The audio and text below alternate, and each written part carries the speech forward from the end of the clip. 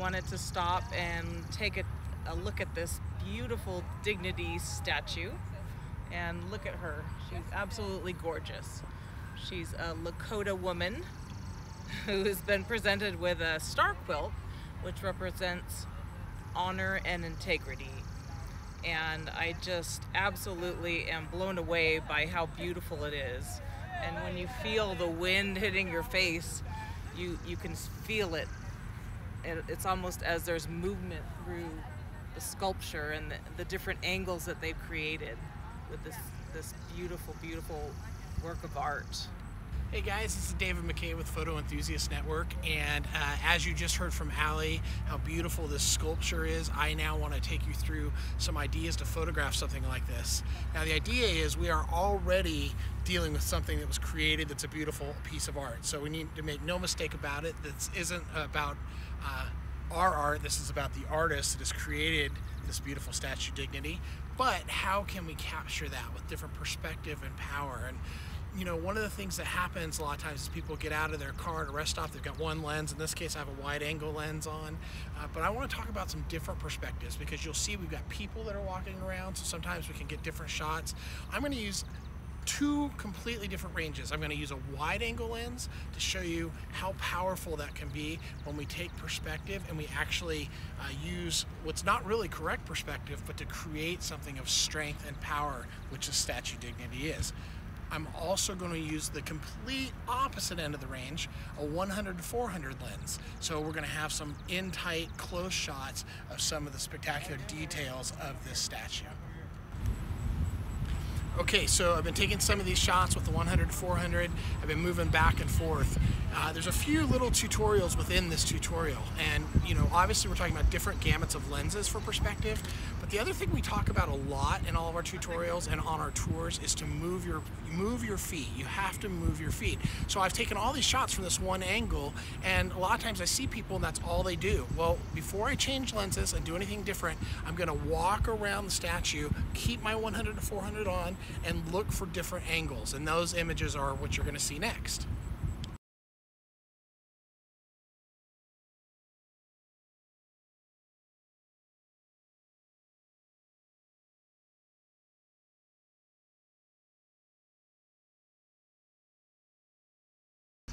Okay, so I've been moving my feet. I've been walking around and you know, you're gonna see people, picnic areas, garbage cans, restrooms, and yet this beautiful statue. And what I noticed was this amazing natural frame. So again, there's some tutorials within this tutorial. So lens perspective, moving your feet perspective, natural framing perspective. And here I can basically step back and I can frame her with this beautiful greenery, which right now we're in the middle of the day and it's beautiful against this blue sky. And so just natural framing is another perspective. So as we move and move around, we see these different things you have to be looking for. Uh, don't just take quick one shot and you're done. Spend some time photographing, trying different angles, different lenses. Okay guys, so Ally and I are just really enthralled with this. It's an amazing statue. Look at the clouds going on behind it. So in the middle of this tutorial, uh, Ally said, I gotta get my black and white infrared camera. Uh, those that have been following us know that Ally loves her infrared, but bright midday is actually the best time and she loves clouds. Now notice where she's shooting at. She's shooting with a wide angle lens. So that's what I was talking about is that we were gonna use a wide angle lens. But knowing this light and this clouds and everything that's going on, uh, Ally went and got her black and white infrared. And these results are what you're gonna see here.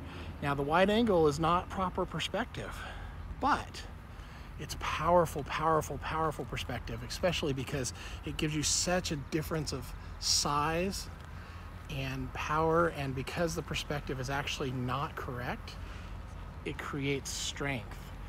So Ally yeah. Can you talk about what you're shooting here? I've been following you around and I know we we went off script with this tutorial because it's so amazing but what what's going through your head right now as you're shooting well I just really want to cover this from different angles and I came back to um, this uh, kind of left side It's kind of a split profile of her face, uh-huh. and the light is um, just skimming off her cheek and and her chin, and I find it shows a lot of depth and dimension.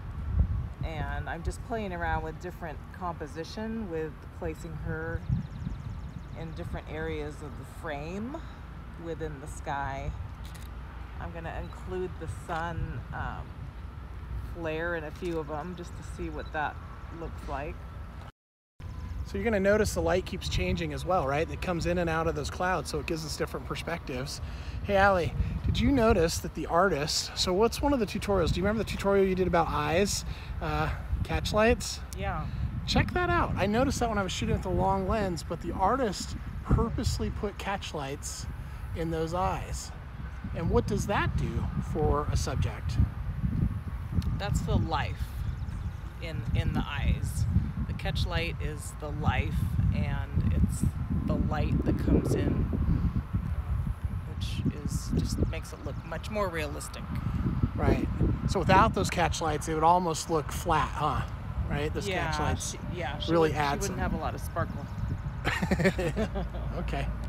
So look how close that she is to that statue.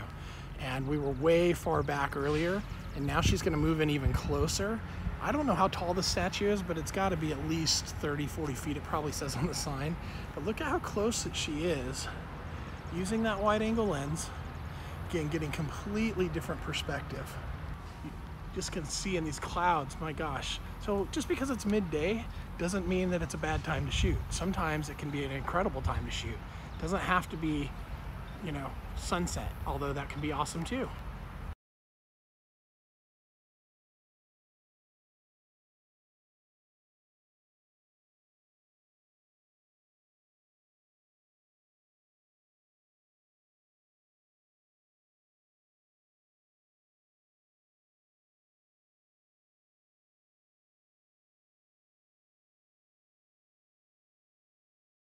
Exposure is basically taking a picture and the settings that you're using to take that picture so that it looks the way you want. And that's what a correct exposure is a picture that you've taken that looks the way you want. So it doesn't necessarily have to look the same as what your eyes are seeing for it to be correct to you.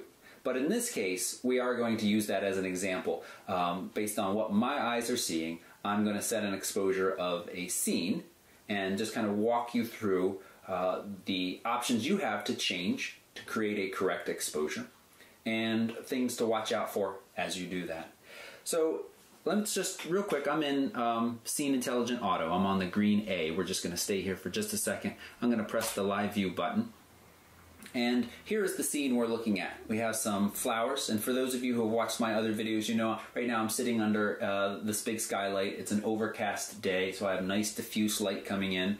These, uh, this jar of flowers is at the edge of that skylight, and beyond that it starts to get pretty shadowy fairly quickly. Uh, you can see there's a ruler and there's something white back there. We're going to be able to see those things in a moment. But here's what the camera judges to be a correct exposure of this image, and it's pretty close.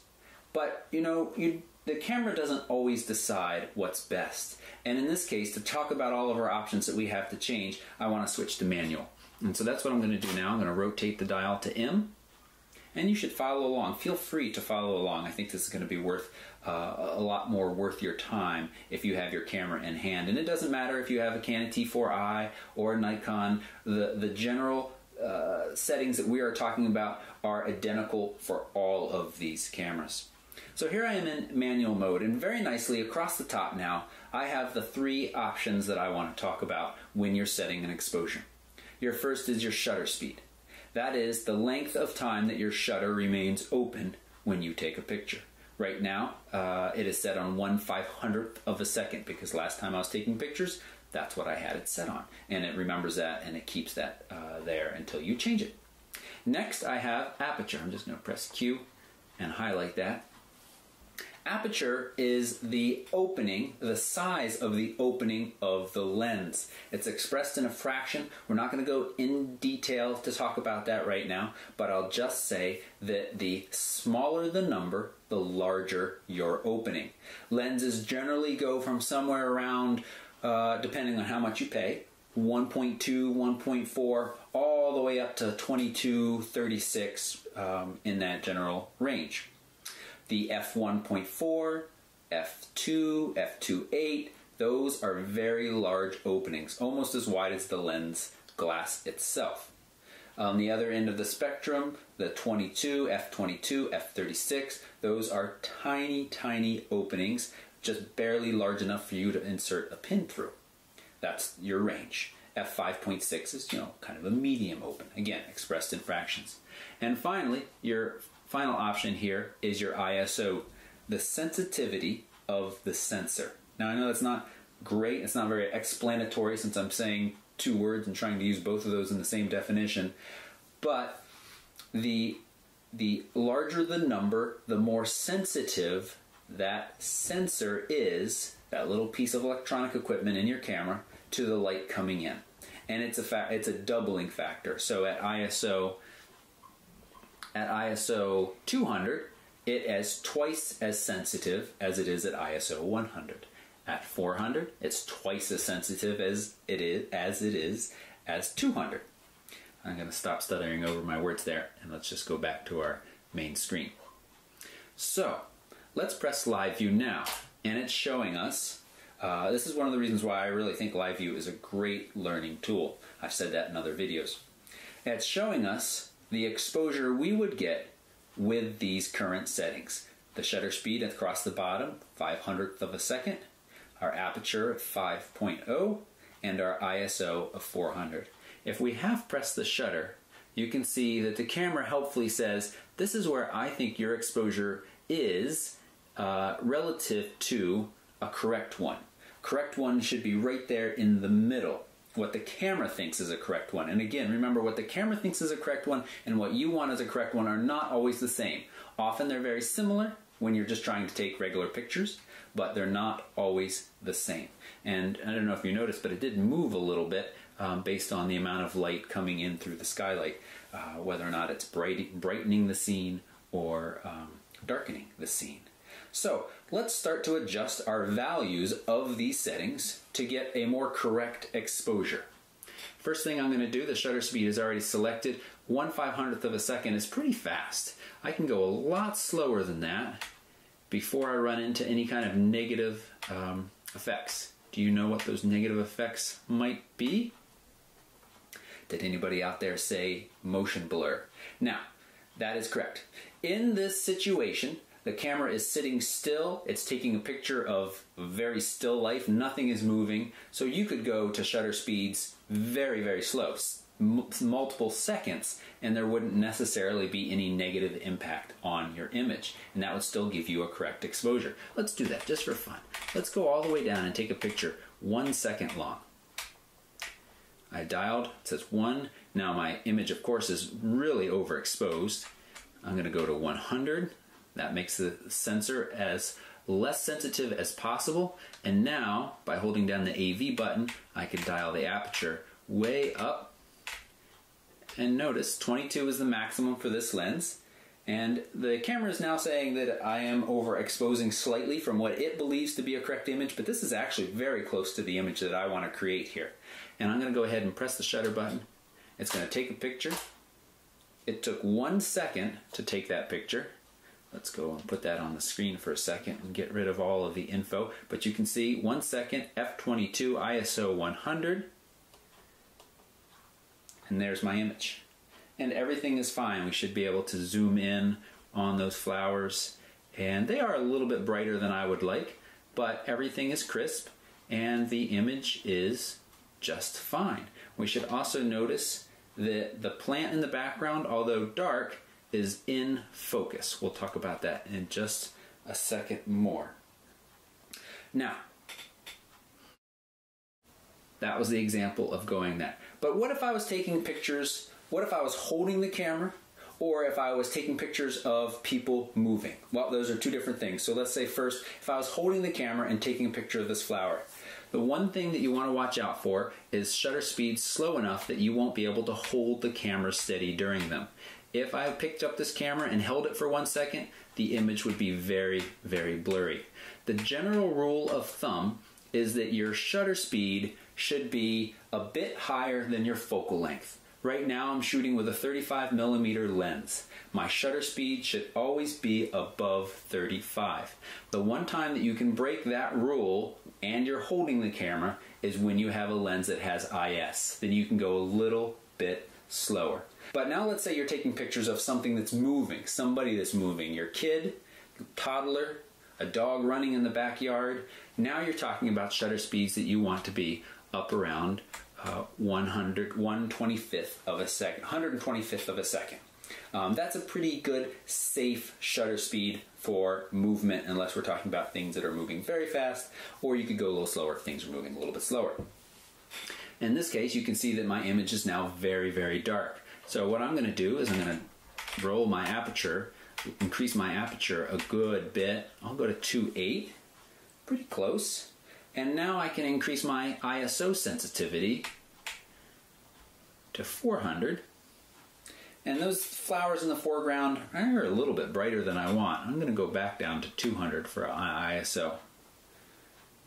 And now you can see that my exposure is identical, virtually identical, and you can see that little exposure meter at the bottom, virtually identical to uh, the exposure I shot a minute ago that was a one second in f22.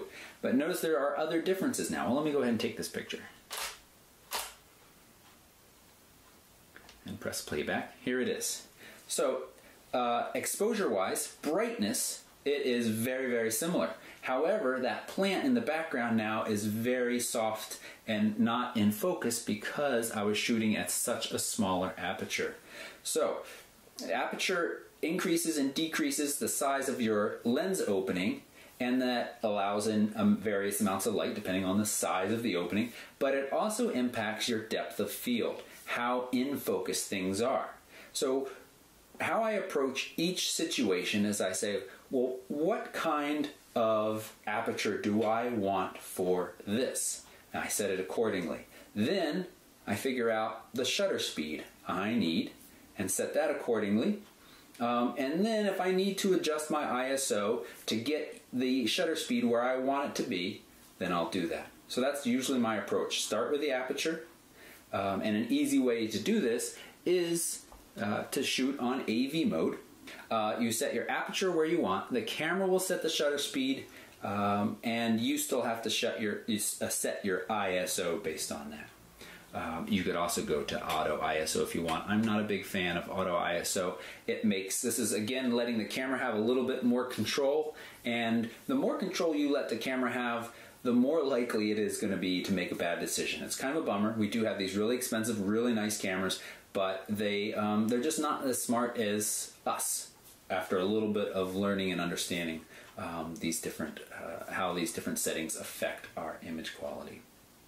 So this was just a really quick, simple look at changing those values, talking a little bit about exposure. I'm going to come back with more videos that talk in depth. Um, I'd like to have a series of kind of recipes, but really it all depends on what you see and the factors of fast enough to avoid motion blur, fast enough to avoid handshake, um, the the aperture that you want for the scene, whether or not you want to kind of separate somebody from the background or it's a vista and you want to get all of it in focus, then you're going to be shooting at those really high numbers, which is a really small opening.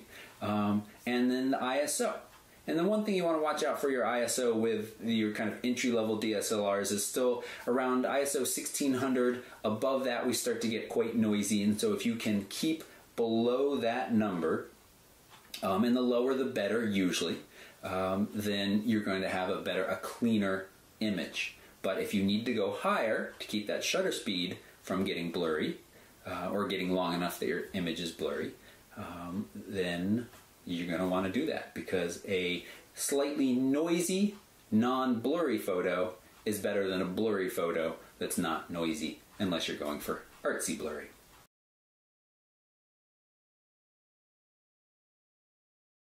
Welcome to Yosemite National Park.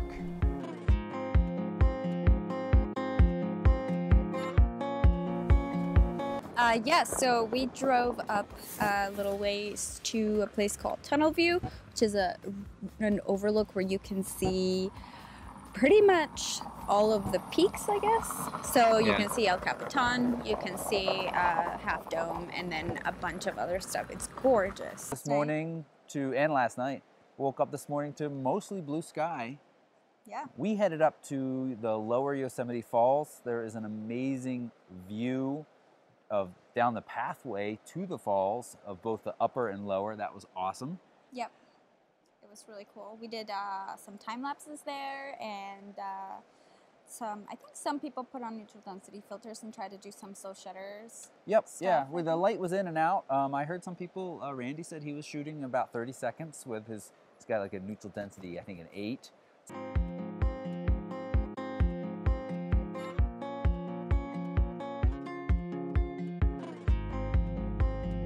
I actually want to talk for a moment about how we would capture a scene like this. Uh, huge vista. So first thing I think about is my aperture. I'm going to set that to something nice and deep. Uh, f8 is a good start. F9, F10 is fine. I probably don't need to go beyond that when we're focusing so far off in the distance. Next, I want to check my shutter speed, and make sure it's fast enough to avoid handshake. I've got a stabilized camera, but you know, I can go a little bit faster than that. And now I'm shooting with a Sony and I've got my exposure right in the middle, just about where I want it. And that looks good. 160th of a second. I'm shooting with a Sony 16 to 35 and I've got it at 16.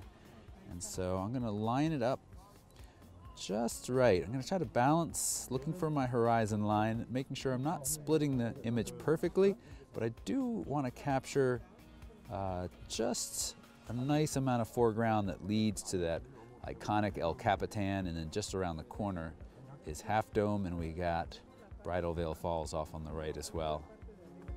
This looks good.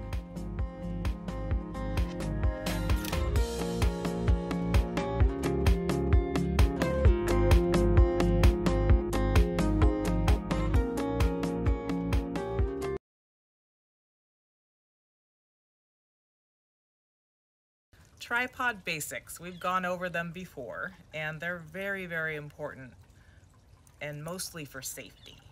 So the sad thing is we see people drop their cameras, drop their lenses right off the tripod, or juggling things to try to get it on the tripod. So we don't want to see people drop their cameras and break them.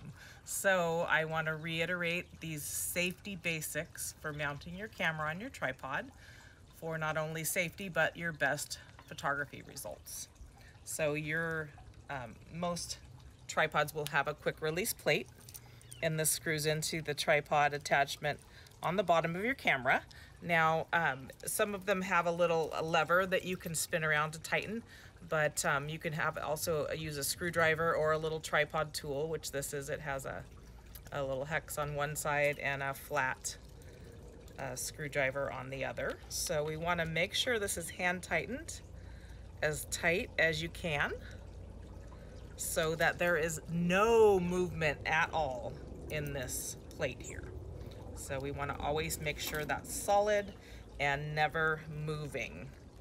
So before I mount the camera to the tripod, I want to make sure that the head is rotated around so that the the knob that tightens the actual physical attachment to the camera is underneath the lens so that you won't accidentally mistake it with these knobs here. And another great tip to do right when you're setting the tripod up is to have this, since this is going to be under the lens, you want the leg of the tripod, create a front leg for stability so that if you tilt the camera down this way, the weight goes down in their support from this leg and it won't accidentally tumble over, especially in a downhill position. So the quick release plate has grooves. They slide in to the back first and then the front. And I check to see is it in the groove? Yes, it is. So I tighten hand tightened very, very tight. And then I check it. I try to move it and it's so, so solid. That is what you're going for. So now you've taken some great shots in this location and you want to move to the next. how do we move this camera on the tripod very carefully? so we double check our attachment, make sure it's solid, but this is a big no-no. Okay, I don't want to see any Tom Sawyers walking down the path like this.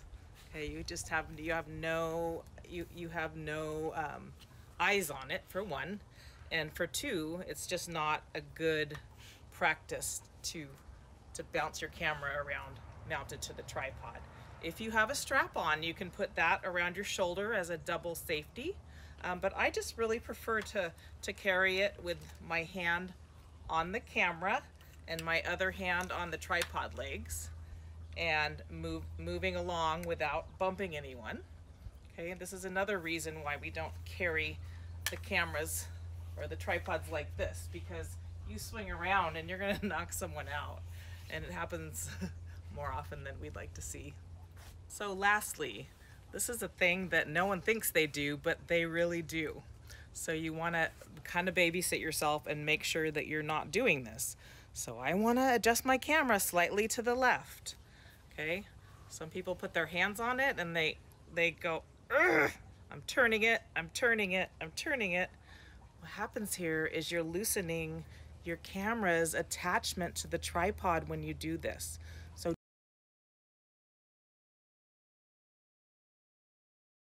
I am out here on Ruby Beach on the Olympic Peninsula up in the state of Washington. And we just wanted to bring you a very quick tutorial here and just talk about what we're seeing here. And you know, if you look back here, you can see that uh, the weather doesn't look to be that optimum. And what I mean by that is we came out here, sometimes people are thinking, well, we're gonna go shoot sunset. And this is one of those times that I wanna, I wanna actually encourage you to get out and shoot and think about a different perspective. You know, when we get out and we're thinking about color and sunset and then something like this happens, you know, you might tend to get a little bit discouraged. And I actually think this is awesome. The reason being is my approach is going to be different. It's going to be totally different than if I was just coming out here to shoot a beautiful color sunset. Instead, what I'm thinking about is mood. And I'm thinking about uh, the term minimalist and trying to create something that has impact based on the tones that we have. We're asked a lot if we should photograph in color or black and white. And you know, I always say shoot in color. You can always post produce to black and white later. That is my approach. But my thinking can change. So, for instance, tonight as we're out here, all the tonality that we see is pretty much a black and white and gray tonality. Because of that, my approach is actually thinking about how would I produce these images in black and white. Now I'm still going to shoot color just in case, but my thinking is I'm going to be reproducing these images in black and white tones. And I want to think in terms of simple and again, that term minimalist. Rather than it being too complicated in my compositions, I'm going to take a look at what I've got here and simplify everything. I'm also going to consider doing some long exposures out at the ocean where the waves and the water goes really smooth. And again, this is all about creating mood. So guys, what am I saying here when it all comes down? It doesn't, you know, change the fact with the weather. When the weather changes or may not be what you think it should be, sometimes the greatest images can come out of those situations. Think about your approach differently when you get out to shoot. In this case, we came out to shoot sunset, the fog set in, but we've got this nice, eerie, and moody feeling, and that's the approach that I'm gonna take. It's a really good idea when you're taking a shot to actually look around the edges of your frame. And the first thing that I noticed was my reflection was actually cut off just at the very bottom. I simply moved forward to where I could make sure that I got the entire reflection. And then in my setup, I, again, I'm thinking simple. And the first thing I did is I did a horizontal photograph, kind of took in a little bit more of the scenery. There are some people over here on the photograph, and I may leave them in there for perspective, or I may decide to go ahead and, and take them out in, you know, uh, post-production and editing. Now, after I did my horizontal shot, you know, Toby always talks about when's the best time to take a vertical photograph? The answer, right after you take a horizontal photograph. So basically what I did is I went ahead, turned that camera vertical, and I even simplified it more. I took the one main rock here, photographed that, and the first thing I did was a basic straightforward photograph that uh, basically uh, uh, was right at my sweet spot of my, my lens, which is f8. I took that f8 shot, I think it was around a tenth of a second, but then I decided to go for a little bit longer exposure just to make sure that that water was as smooth out as possible. So I took the f-stop up, which forced my shutter speed longer, and this is the result that I got. We're gonna head down to the ocean side here and we're gonna do uh, some nice long exposures down there. I'm gonna do, so here's the thing, when I go to photograph, if I'm thinking long exposures, I'm also going to take shots that are not just long exposures. I'm gonna do a variety, why not? So you're gonna see me do some shots, maybe a little faster shutter speed, and then some shots with a long exposure, trying to create that mood that we've been talking about. But again, keeping things simple, keeping things in a very minimalist look, and just really going for the tonality and the moods to have thought-provoking images.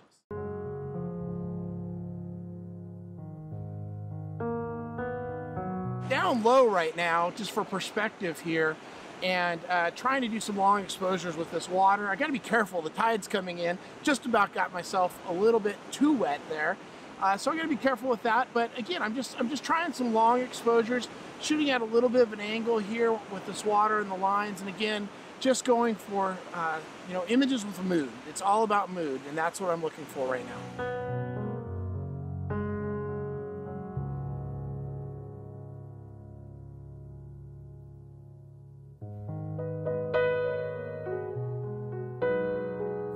Thoughts on this. Basically, don't be afraid of the weather. If things don't look and conditions don't look exactly like you had hoped for and expected, just change your approach go ahead and simplify things. In this case, with fog and these tones that we're getting out here, I'm just simplifying that approach, going for a very minimalist look and attitude in my approach to photography, thinking about black and white because that's the tonality that we have here, and even keeping my images uh, without being too complicated with the composition and the elements in those photographs. Taking single subjects uh, like the rock that you saw and just again just keeping everything really simplified and then for added mood even doing some long exposures in a situation where we have water like this to really give it uh, a deep thought-provoking uh, moment in these images.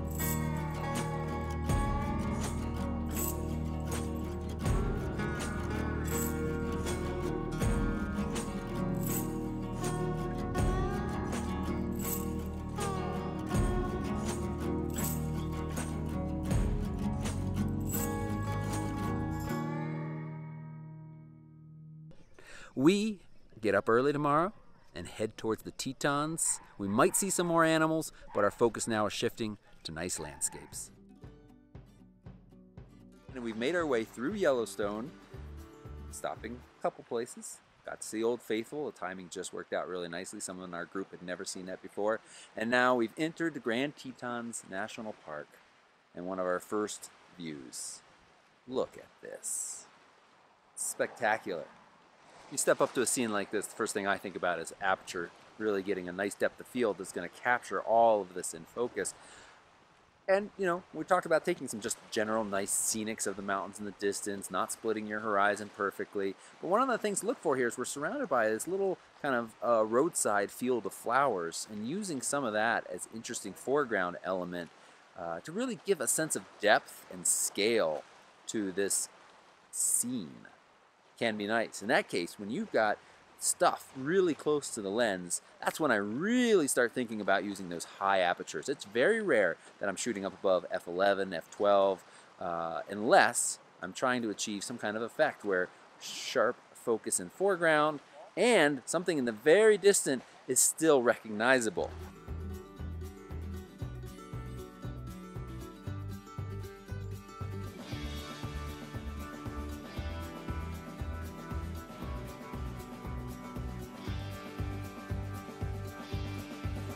Arguably one of the uh, most photographed landmarks in Grand Tetons National Park, besides the mountains themselves, is the Moulton Barn. It's easy to find on Google Maps. There's lots of gorgeous photos of it. We're out here at sunrise. We're to make our gorgeous photos.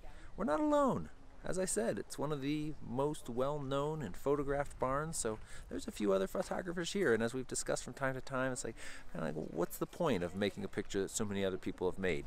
I'm not going to go down that road too far, other than to say it's really cool to be out here to see this with my own eyes and to make my own photo that I can hang on the wall and say, I was there, I have that memory, I took that picture. If you do come photograph this barn, keep an eye out for the intersections. So at certain angles, you can frame the entire barn below the top edge of the mountains. I think that's best. Thumbs up there. At other angles or with wider framing, you, you get the peak of the barn poking up just barely above the mountain. And that to me looks a little sloppy. So think about your composition. We've got, you walk over this little bridge, make your way left, and on this little hill, you've got a quite a nice vantage point. I'm shooting at about 50 millimeters on full frame. Um, there are, are, tons of other angles to shoot this at, but if you're breaking the horizon, you want it to look very deliberate. Don't have it a little bit. And in some angles we were working on, kind of the saddle of one of the peaks uh, was just kind of kissing the bottom, and that's not good. I'm being summoned.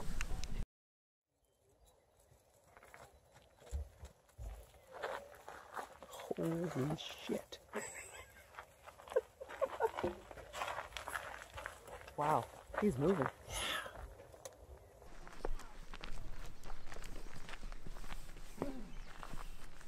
There's always these moments on McKay trips. I think we just hit this one. Um, Road, off of the main road in Grand Tetons National Park, leads down to this little scenic river spot. But you turn to the right and you walk, walk, walk, and you get up to these series of beaver dams where the water right now is so perfectly still except for when the mama duck and baby ducks swim by. It is so perfectly still, offering such fantastic reflections. It's just very lovely.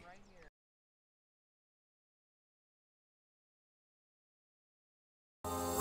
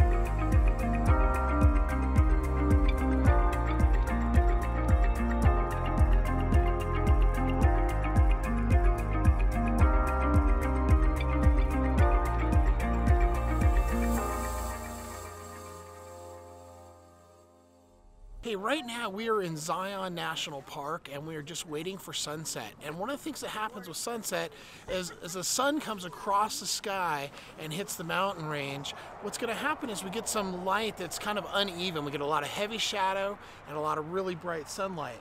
And if you take a look up here, you can see that we've got these tips of sunlight, but it's going to get softer and softer and softer in a minute. And as it gets softer, we're going to wait for that color to come in the sky and then hopefully get some great sunset shots.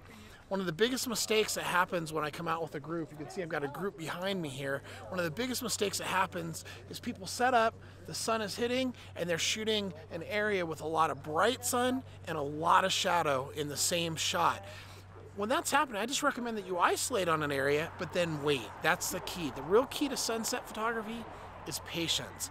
You don't need to shoot a thousand shots of the same exact mountain waiting. Just get set, get ready, and then as this light gets softer and then the color comes in the sky, then you're gonna be good to go.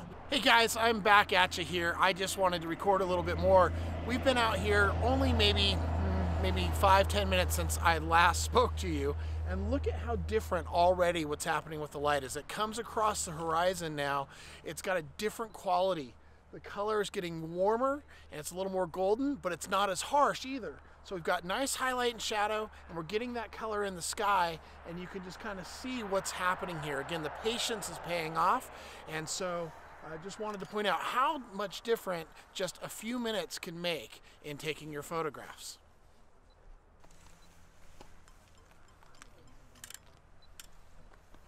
All right, guys. So it's now just been another maybe 15 minutes since my last uh, little talk with you, and boy, oh boy, how things have changed in this last, I mean, literally 45 minutes. We've gone with totally different lighting situations, and now we're getting this beautiful, beautiful color that's coming in, some beautiful golden highlights on the side of the, the mountain there. Uh, and again, it just comes down to patience. Just so you guys know, uh, I am shooting at 100 ISO on a tripod. I'm not worried about how long my shutter's gonna go. The sweet spot of this lens is right at f5.6, so that's what I've gone with, and then I've just adjusted my shutter accordingly, slightly underexposing, which helps bring in a little bit of saturation into that sky. But anyway, that in a nutshell is just showing you how I would shoot a, a beautiful sunset of a mountain range. It doesn't have to be um, a long drawn out process. Really, it just comes down to patience as far as just watching that color, adjusting your settings as you go, and you're going to be good to go. We are here in Secret Canyon. We are in Page, Arizona. This is not Antelope Canyon. This is a canyon we get exclusive access to for over two hours, and we've just been doing an amazing uh, tour here with a, a number of our clients. And I just wanted to talk to you. I'm going to show you some images, and these images I just wanted to share. I'm in uh, a lot of difficult light where we've got beautiful highlights and then also shadows, but it gives this beautiful texture, beautiful light, and this is one of those places where I tend to use a large f-stop for aperture. I will, I will use like an f22 or with this lens I can go to f32 and that allows me to get depth from foreground all the way back. Does force me to do a long shutter speed because I want to be at 100 ISO, which is the best quality. So uh, you know, this is one of those places where we always talk about, you know, your aperture being, you know, we don't never, you know, a lot of times we don't have to go past, say, f8 in most situations. But this is a situation, just wanted to share with you, it's a specific situation where it's a good idea when you have a lot of depth of field to go ahead, take that f-stop up high, use a tripod, 100 ISO, and if your shutter ends up being a 10 second exposure in a location like this, no problem. We are out here in Marble Canyon, just outside of Page, Arizona. We've brought the McKay Photography Academy group out here on tour, and uh, we're out here at this balanced rock, and you can see behind me how awesome this is. And one of the things that I want to share with you folks, it's just, it's a small tip, but it's a huge difference in the composition and quality of what your photograph may look like.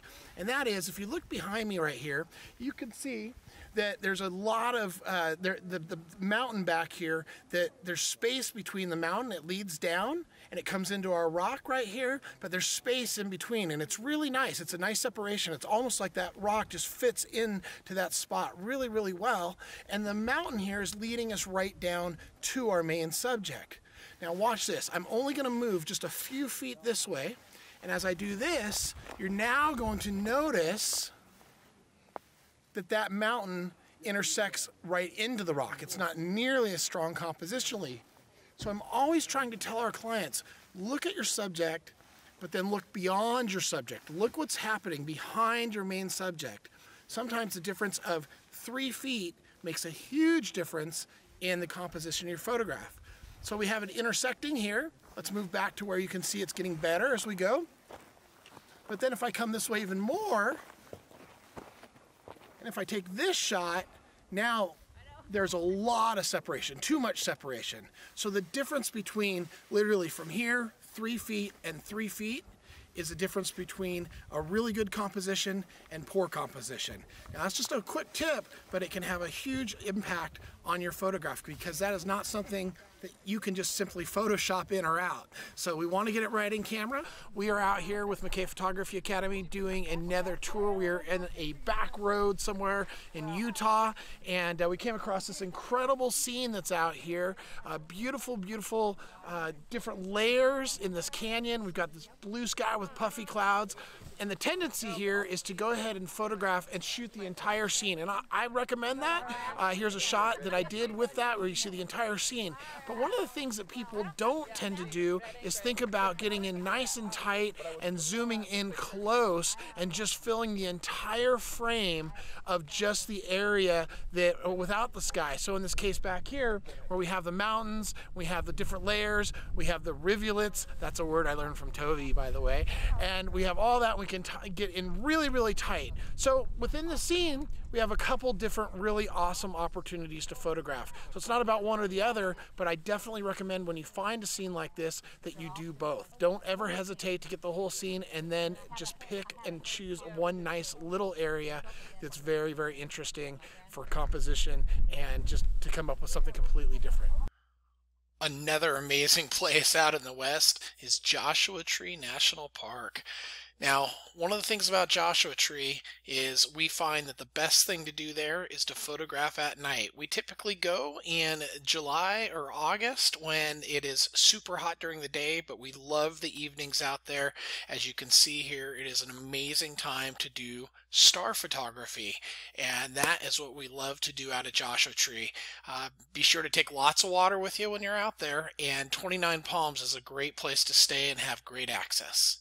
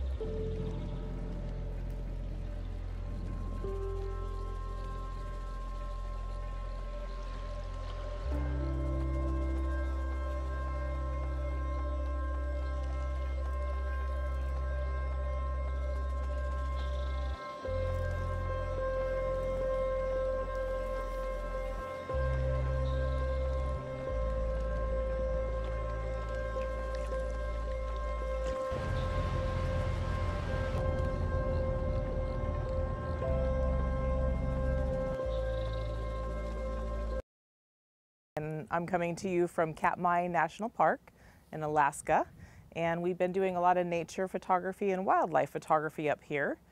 And I wanted to share a tip with you about not compromising your shutter speed to get a better quality ISO. So some of the time when it's overcast or when it's later in the day or even before sunrise, the light's low and people may be concerned with using a high ISO, which would give you lower quality. And yes, that is true. However, we don't really ever want to compromise our shutter speed if it's a moving subject or if it's a situation where we need to compensate for lens shake with a heavy lens.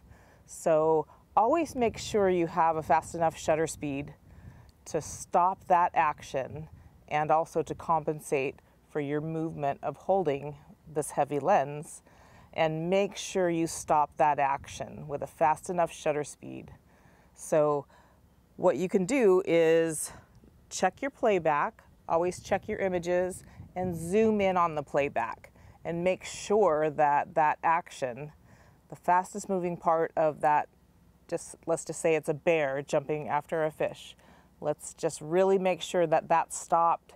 You see the individual water droplets separated and that is much more important than you being afraid to use a higher ISO. This is a beautiful winter wonderland but it's really, really, really cold. It's minus 15 right now. The second that this video is done filming, I'm jumping back in the warm car because my face is starting to freeze up and I can't pronounce pronunciate the words as well. But okay, so with equipment, we we're out shooting the Aurora last night and it's cold and cameras can get finicky, but especially batteries. Batteries like to be warm like me. so how we uh, will store our extra batteries, our backup batteries, is next to our body heat. So in an interior pocket or placing the battery right next to a hand warmer. Okay, we'll keep it warm and it will be ready to go when your battery needs replacing. And what we found is sometimes your camera is telling you your battery has zero power in it. And what we found uh, just from experience is when you warm that very battery up that your camera is claiming it has no power, all of a sudden sometimes it can have full power. So it was just really kind of whining and complaining that it's cold. So sometimes you can warm that battery up and it'll be good to go again. But always, always have your spares on a hand warmer and or near your interior warmth of your body because they're very finicky, those little batteries. They don't like to be cold. I think they'd rather live somewhere like Florida. but we bring them to places like this and they, we just have to deal with them and, and just kind of baby, baby their temperament. Let's talk about the aurora. Aurora Borealis, also known as the Northern Lights. Now, in the west, there is a place up in Alaska, just outside of Fairbanks, uh, that you can witness this amazing phenomenon and also learn to photograph it. It's known as Aurora Bear. It's a great place to go. We also lead tours up there. Uh, photographing the aurora is like nothing else that you've ever experienced, and it's something that everybody should at least try and see once in their lifetime. Again, there are a number of places that you can go to see it, but really, uh, just outside of Fairbanks, up in Alaska, is definitely one of the best places in the world to see it. And our friends up there at Aurora Bear are who we highly recommend.